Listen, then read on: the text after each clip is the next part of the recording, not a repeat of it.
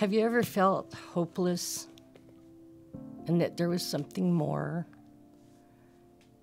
Have you ever felt like there was no one to help? Have you also ever felt like you needed to help but you weren't sure how you could? I want to tell you a story about Dave. I was going to the grocery store one day and there was a gentleman sitting on the pavement next to the door and he asked if I had change. And I told him that I would get change and bring some to him. So I went into the store and, and did my shopping, and I couldn't get this gentleman off my mind. And something was pushing me to interact with him. And so I got a little bit of cash and I went back outside and I gave him the cash first. And he, he almost cried.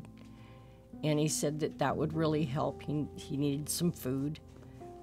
And something came over me. I'm sure it was the Holy Spirit.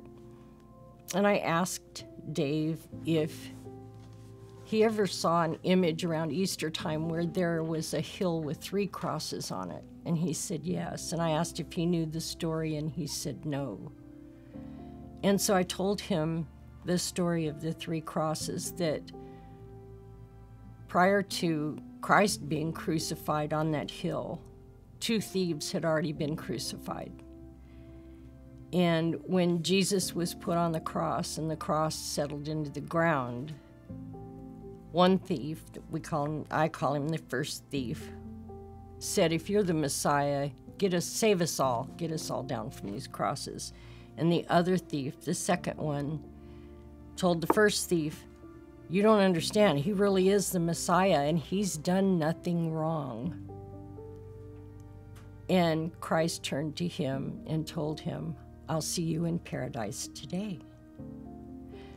There was no um, special prayer, there was no preacher, there was no church.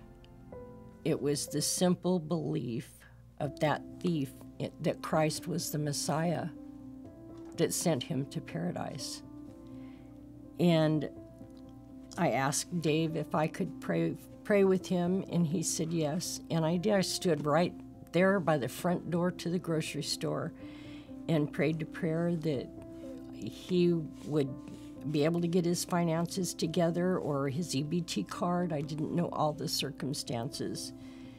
And the little bit of cash that I gave him was, was certainly going to help him buy some food. But I had him heavy on my heart for a couple of weeks, and I finally found a, a small Bible like this.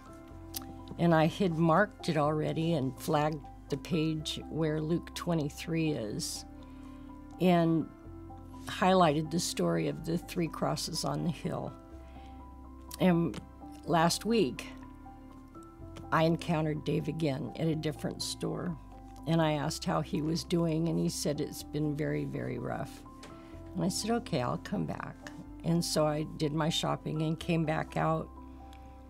And I said, Do you remember me? And he said, Yes, you told me the story of the three crosses.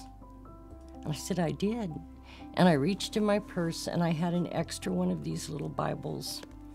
And it was flagged and highlighted with the passages uh, regarding the story of the three crosses on the hill. And I said, This one's for you. And again, I told him, um, You know, you don't have to say a special prayer or have a preacher or be in a church for you to accept salvation through Christ. You can do it just by believing.